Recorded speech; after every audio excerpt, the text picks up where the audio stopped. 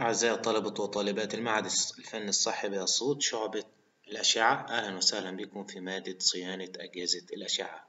كنا وقفنا قبل ما قبل تعليق الدراسة في المحاضرة التانية عند صيانة جهاز الإكس راي وقلنا إن صيانة الأجهزة أو الأجهزة الطبية أو أجهزة الأشعة دي بتتطلب دراية كاملة بالجهاز ده إيه مكوناته وإيه الوظائف بتاعته. كنا أخدنا صيانة ال generator. ده اللي خلصناه المرة اللي فاتت. محاضرة النهاردة هنخلص فيهم جزئين رئيسيين في جهاز الأشعة اللي هما ال table and bucky والجزء الأهم اللي هو ال X-ray tube ال table and bucky زي ما هو موضح هنا لازم تبقى rigid لأن ده الحامل.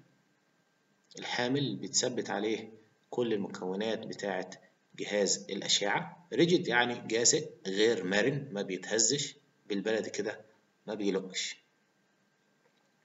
ودي أبعاد ال table بتاعتنا حوالي اتنين متر في خمسة وستين من مية متر. وبتاخد سبعة من عشرة متر الارتفاع بتاعها من ال floor من الأرض. يبقى ده الارتفاع يبقى طول اتنين في عرض خمسة وستين من مية متر في ارتفاع سبعة من عشرة متر.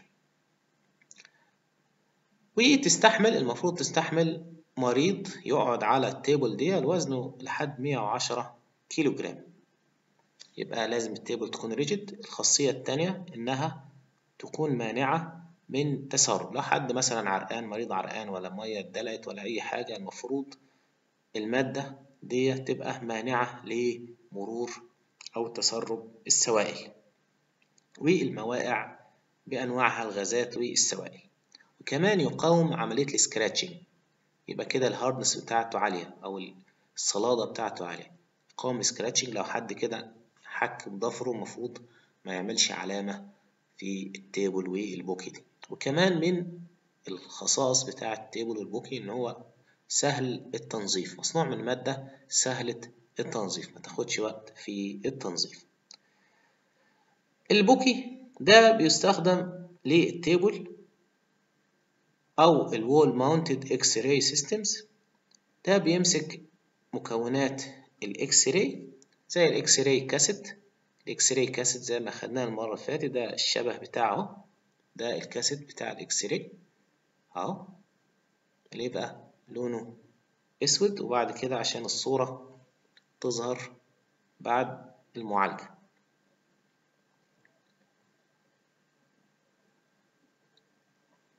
موقع ال Bucky ده بيبقى ما بين ال exam table على ال table بتاعة الفحص وأدي صور بتوضح horizontal Bucky و vertical Bucky ده ال horizontal Bucky أهو موجود وأدي ال vertical Bucky ممكن ده يستخدم مثلا للتصوير مثلا على الصدر ده التصوير على كسر مثلا في الرجل كسر في الإيد.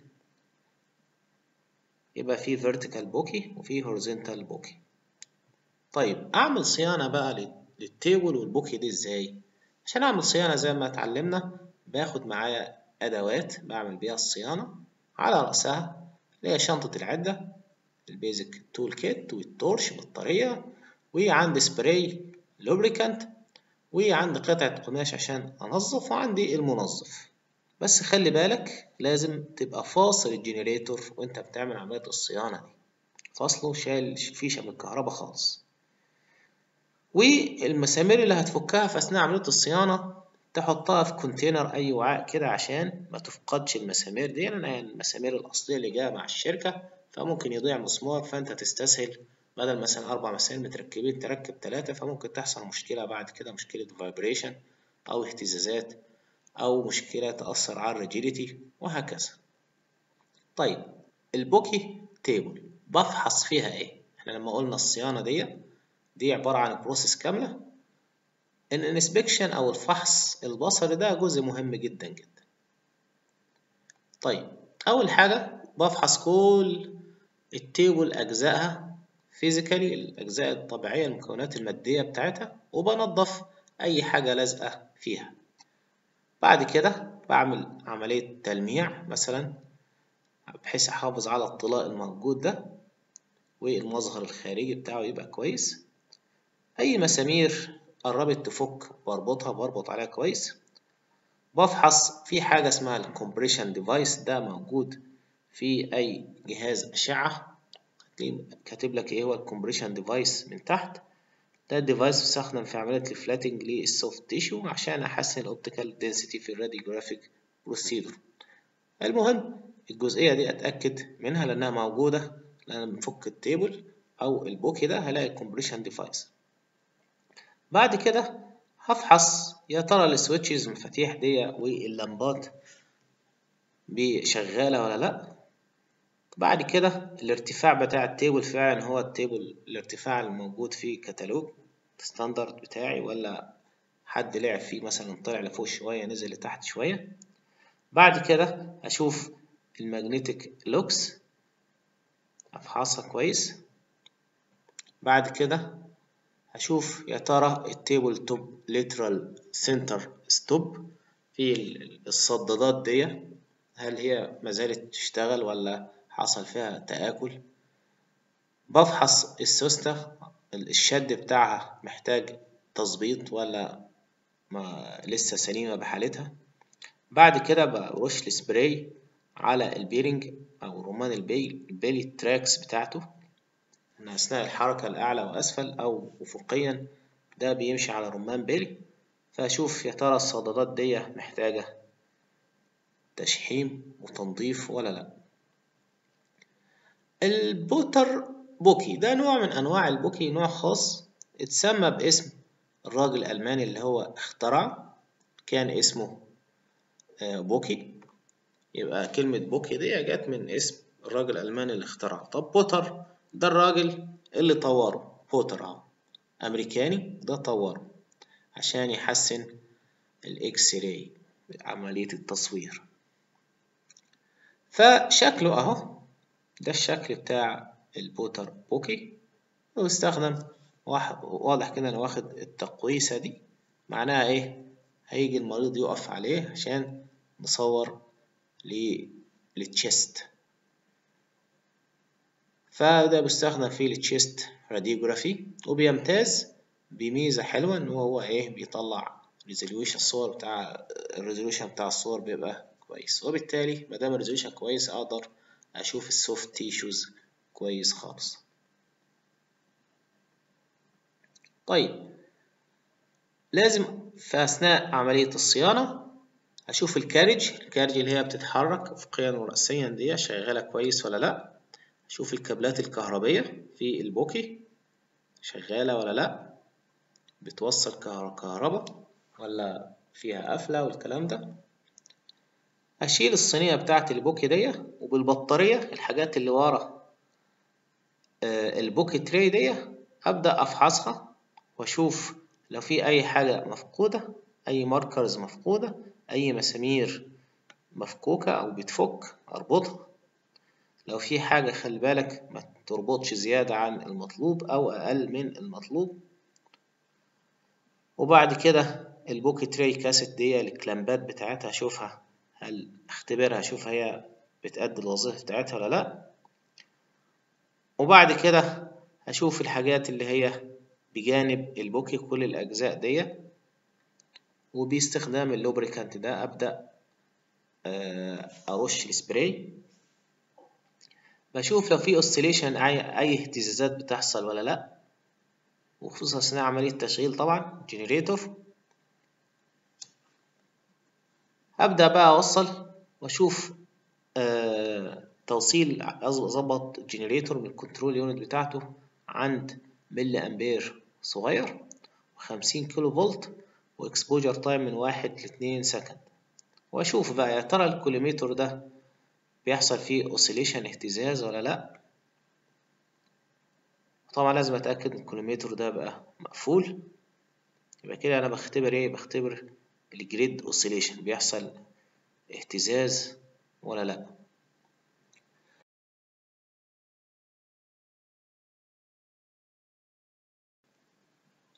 برضو ال vertical Potter-Bucky ده محتاج فحص. أشوف لو في أي film markers مفقودة لازم يكون طبعا فاصل ال power وبعد كده هشوف ال Bucky دي محطوطة في مكانها ولا لأ. هبدأ أفحص طريقة إن أنا أحط ال front cover أو ال cover الأمامي. متظبط محطوط كويس ولا لأ. أبدأ أفحص ال vertical lock اللي هي الصدادات الرأسية دي موجودة وتأدي الوظيفة بتاعتها ولا لأ. أثناء الحركة لو في أي حاجة بتعوق ال track أو ال guide بتاع حركة الحركة الرأسية أو الحركة الأفقية. طب في حالة طبعا ال vertical دي حركة رأسية هشوف أي حاجة بتعوق عملية tracking ولو في محتاج تشحيم أشحم. فحص ال fluoroscopy table mechanically و electrically. أول حاجة بعمل فحص لل table body ظاهريا. وبعد كده لو في أي مسامير مفكوكة أبدأ أربطها أي fittings أبدأ أربطها. بعد كده بفحص ال rails أو الدليل اللي بيمشي عليه ال table رأسيا وأفقيا بعد كده أشوف أي مسامير مفقودة أو مش مربوطة كويس أربطها. نظام التعليق على الكابلات والكتينة ولو في springs أشوف لو في أي تآكل موجود فيه ولا لأ. بعد كده بفحص الأسلاك الكهربية باستخدام البطارية. وبعد ما أشيل ال front cover أشوف بقى لو في أي film markers برضو مفقودة ولا لأ. بعد كده لازم أخد بالي. أثناء عملية الصيانة. في اختبار بقى مهم اللي هو ال X-ray beam alignment محاذاة شعاع ال X-ray. بستخدم آه لازم وأنا بعمل الاختبار ده لازم أرجع الكاسيت اللي هي أربعة وعشرين في تلاتين سنتي لازم أركبها. شكل الكاسيت أهو أو أشكال الكاسيت. بعد كده من ال control أبدأ أشغل بقى أحط ال power أحط الفيشة وأشغل. عند كيلو فولت صغير وملي أمبير صغير. أنا مش محتاج الطاقة العالية دي كلها وخصوصا وأنا يعني بحتك يدويا مع الإكس راي ده فأنا مش عايز أتعرض لكمية إشعاع كبيرة. فيهمني هو الشعاع نفسه. عايز أولد أي شعاع يهمني اختبار المحاذاة بتاعه. طيب. بعمل محاذاة يدويا للشعاع ده. واشوف الأربعة ال spot دول ال size بتاعهم مظبوط ولا لا. خلاص الشعاع أهو بينطلق أبدأ أشوف موجود عندي ال minimum level أو minimum height وال maximum height ولا لا. بكرر العملية دي كلها عند أغير الزاوية بتاعة ال table اعمل لها tilting لحد ما تبقى رأسية تماما. وأشوف بقى يا ترى ال spot size ده مظبوط في مكانه ولا في أي ترحيل. بعد كده في اختبارات مهمة جدا على الجزء الثالث من ال X-ray اللي هو ال X-ray tube. ده أهم جزء موجود في ال X-ray ال X-ray tube مكوناته طبعا مش هنستفيض فيه لأن هتاخد في جزء في مادة تانية اللي هي جهاز أو أجهزة الأشعة. هو مكوناته عبارة عن كاثود وأنود الكاثود ده بتنطلق منه بقى أشعة ال X وبعد كده الأنود بيسرع اللي هو مشحون بشحنة موجبة بقى. فبيحصل تسخين درجة الحرارة بتعلى ولازم الأنود يبقى متصنع من مادة تستحمل درجة الحرارة اللي هو إيه؟ التنجستن فرق الجهد بين الأنود والكاثود ده بيبقى عالي جدا.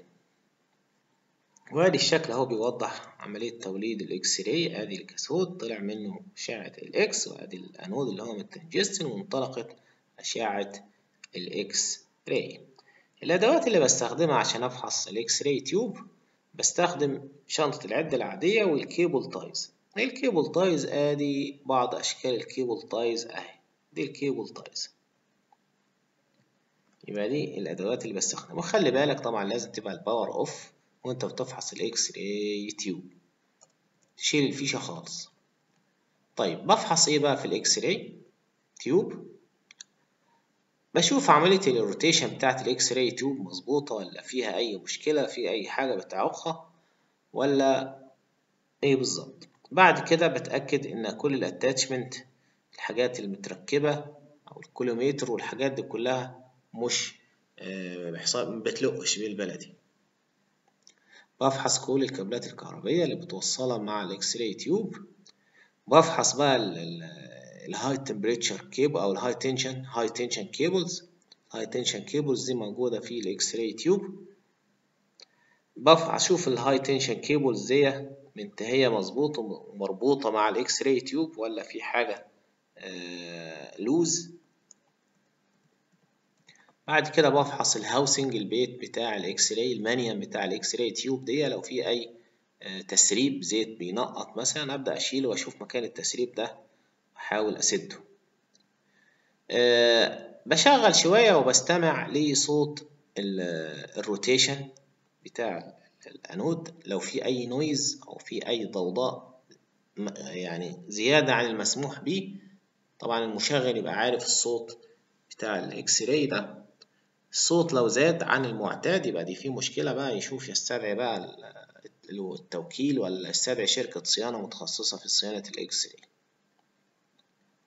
طيب ال X-ray tube فيها فيها اختبار مهم جدا اسمه ال X-ray tube seasoning كلمة seasoning جت من إن أنا بحافظ على الخشب من أي رطوبة أو أي آه سوائل أو مية تتراكم عليه. ده ال seasoning لكن ال X-ray tube seasoning بنفس المفهوم بحافظ على ال tube دي إن مفيش أي غازات زيادة تكون موجودة داخل ال tube دي وده خلي بالك ده بيحسن ال stability بتاعة ال X-ray tube وخصوصا عند كيلو فولت عالي. عند فولت فرق الجهد لما يكون عالي بيحصل oscillation عالي. فممكن في وجود الغازات دي ممكن تبقى إيه في مشكلة. يبقى لازم بعمل ال season ده كل شوية. في الظروف الطبيعية بتشغل على كيلو فولت مثلا بين 80 و 90 أعمل الكلام ده شهريا كل شهر. تعمل ال seasoning ده. طب أنا لو شغالة عندي مثلا كيلو فولت عالي باستمرار يبقى تعمل الكلام ده يوميا قبل ما تعيد الاستخدام. أثناء ال seasoning لازم آه في الأول خالص هتبان لك ال X-ray tube دي مش stable بس بعد مرتين أو ثلاثة هتلاقي إيه؟ ال X-ray tube بقت more stable أتمنى تكون محاضرة النهاردة آه واضحة وأشوفكم إن شاء الله المحاضرة الجاية مع طريقة صيانة لجزء آخر من ال X-ray ألا وهو ال X-ray tube stand وبقية الأجزاء.